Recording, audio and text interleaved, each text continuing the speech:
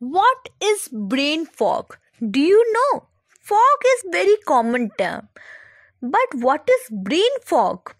Brain fog is a common condition. It affects people of all ages and is characterized by a state of confusion and a decreased level of clarity.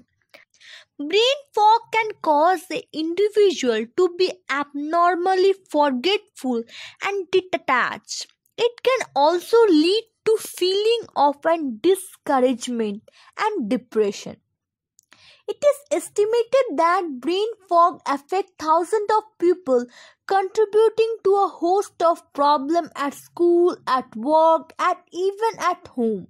It can contribute to low self esteem and may cause or exacerbate relationship problems. Some people even assert that brain fog can lead to crime and delinquency as well. Despite the fact that brain fog is a common problem, it is not well organized within medical or psychology related field. It is not considered a real diagnosis. Yet many individuals claim to have suffered from it for years. In fact, those who believe the condition should be recognized as a medical disorder asset that some people suffer from it their entire life, believing they are functioning as normal. The causes of brain fog are many and include physical, emotional, and biochemical factors. There may be even spiritual cases of brain fog.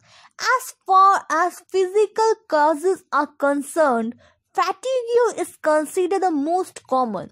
The brain needs a high amount of energy in order to function properly. When an individual is too tired, the brain can suffer and brain fog can set in. Brain fog may also develop as a result of variety of other physical conditions, including but not limited to adrenal exhaustion, food and chemical reaction, and nutritional deficiencies. It may also be caused by stress, depression, or denial.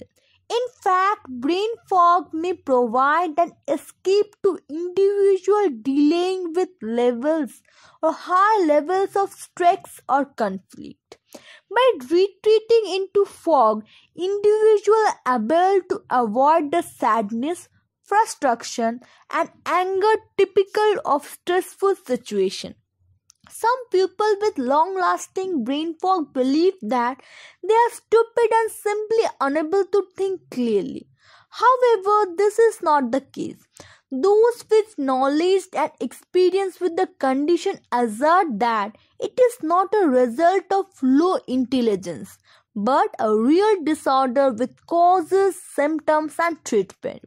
So, if you are forgetting anything and have a habit of saying you are a fool, these are the problem. It is a symptom, it has a disease, and it has a treatment. Treatment of brain fog depend on its causes. In some cases, treating illness or injury may help to clear it up.